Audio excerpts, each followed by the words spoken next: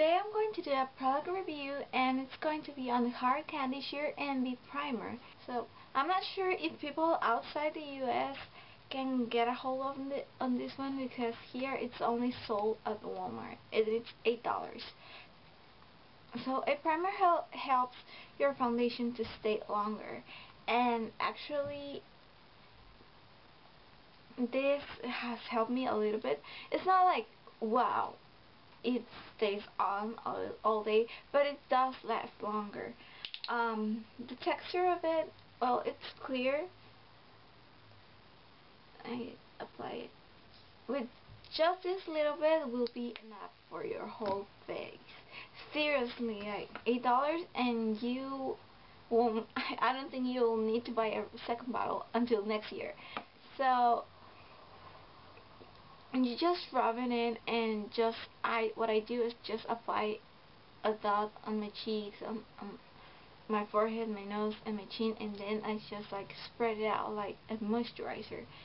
And the thing is that this makes your skin like feel super super silky. It feels like silk seriously. And it's very easy to blend what I like about that. And it doesn't have a bad smell, so there, you don't have to worry about that. It does contain silicone, so maybe that might be not good for everyone. Um, I know some people that don't like to use silicone-based products because basically what silicone does is like, it creates a barrier.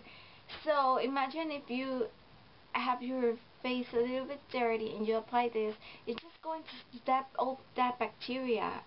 Is going to stay there on your face until you take until you wash your face. And that's my that might be not a good thing. I also have heard that this one is very similar to Smashbox Photo Finish.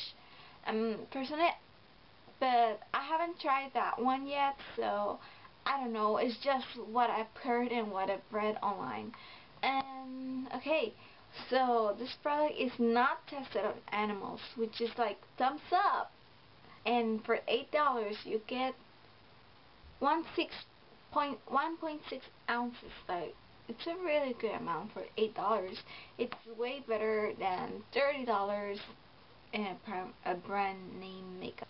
I I haven't broken out from this which is like really really good but again it's like ultralight so you will have to have like extra sensitive skin to break out from this one. And I actually been using it the whole month and it's been wonderful.